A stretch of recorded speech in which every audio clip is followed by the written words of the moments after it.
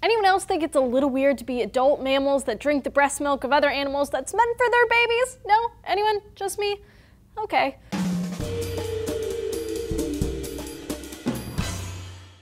Guys, Julia here for DNews. Humans only recently started drinking cow's milks. We kind of well forced ourselves to do it. For the longest time, people made cheese and other dairy products, but sometimes would get stomach pains and digestion issues from it. But around 7,500 years ago, something changed. Someone in Central Europe didn't get ill when they drank cow's milk. Their DNA mutated for the better. But still, 65% of people are lactose intolerant, and that percentage is even higher in those of East Asian descent. So if you're one of the 65% but still like to pour something on your sweet fruity O's, what what would you use? The most common alternative to milk is soy milk.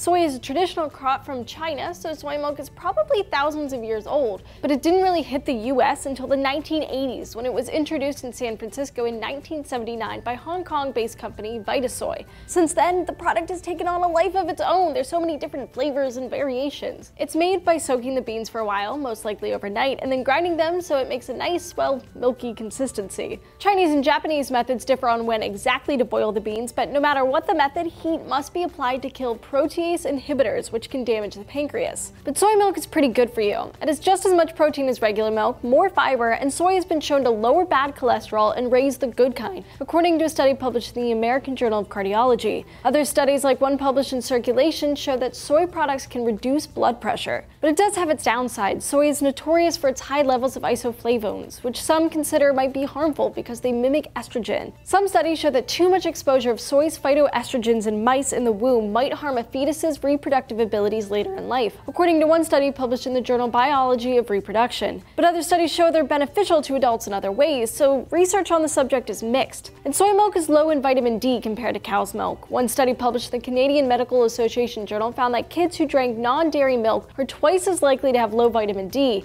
But that can be added, so fortified drinks are the way to go if you're worried about it. But some people are allergic to soy, so almond milk becomes the best choice. Almond milk has been around for a while too, at least since medieval times. And it's simply made. It's just ground up almonds and water, which are then strained. It's so easy you can make your own. But it's not that packed with nutrients. An 8 ounce glass of almond milk contains only 1 gram of protein and fiber. And most manufacturers add in vitamins and minerals like calcium and vitamin E. And no, it doesn't dry up California. Yes, growing almonds does use a lot of water. Almonds use 10% of California's agricultural water supply, so almonds are thirsty, yes. But most of what goes into almond milk isn't almonds. According to one brand, Alpro, only 2% of their product is actually almonds. The rest is just water, thickening agents, and added nutrients, so it's still a net win for the environment. But if you're like me and allergic to almonds, well, you'd probably be safe with coconut milk. Coconut milk is made from the fleshy white bits of a coconut, and like most of the other products, it's mashed up or grated and boiled in water, then strained through something like a cheesecloth.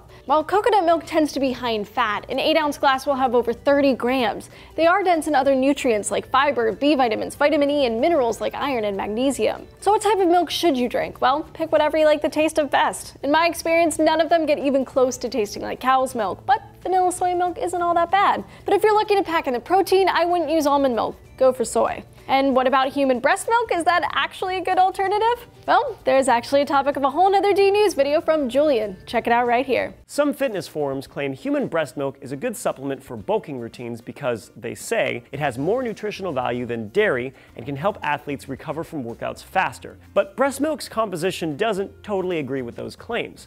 So what do you pour on your cereal or stir into your coffee? Tell us about it down in the comments below. Don't forget to hit those like and subscribe buttons and keep coming back to DNews. We've got new episodes every day of the week.